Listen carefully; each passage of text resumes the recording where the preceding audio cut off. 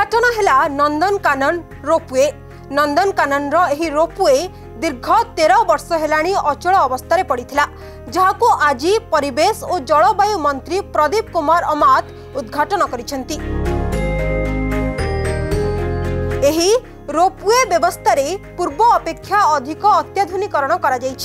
करोपवे दुईट tower सह दुई छबिश मीटर लंबर अधिक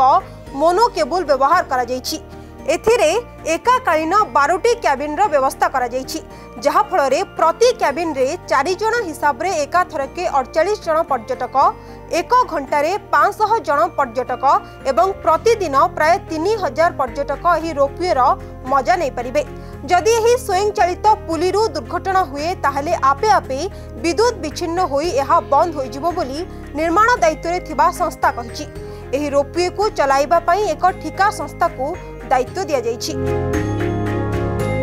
নন্দনকানন প্রাণী উদ্যানের এই রোপওয়ের মজা নেওয়া টিকেট বাবদক জনক পিছা শহে কোড়িয়ে টঙ্কা রখাযাই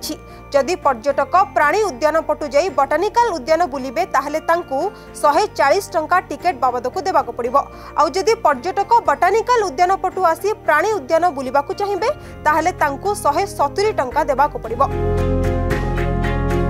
ରୋପୱେ ଦ୍ୱାରା ପର୍ଯ୍ୟଟକମାନେ ସୁଗମନାଗମନ କରିବା ସହିତ ପ୍ରାକୃତିକ ସୌନ୍ଦର୍ଯ୍ୟ ସବୁଜ ବନାନୀ ଏବଂ ଜୀବଜନ୍ତୁଙ୍କ ସମ୍ଭାରକୁ ଉପଭୋଗ କରିବା ସହିତ ଏକ ନିଆରା ଅନୁଭବ ମଧ୍ୟ ପ୍ରାପ୍ତ କରିବେ ଯାହାକି ଏହି ରୋପୱେର ମୁଖ୍ୟ ଉଦ୍ଦେଶ୍ୟ ବ୍ୟୁରୋ ରିପୋର୍ଟ ନ୍ୟୁଜ୍ ଆଡ୍ଡା ଓଡ଼ିଶା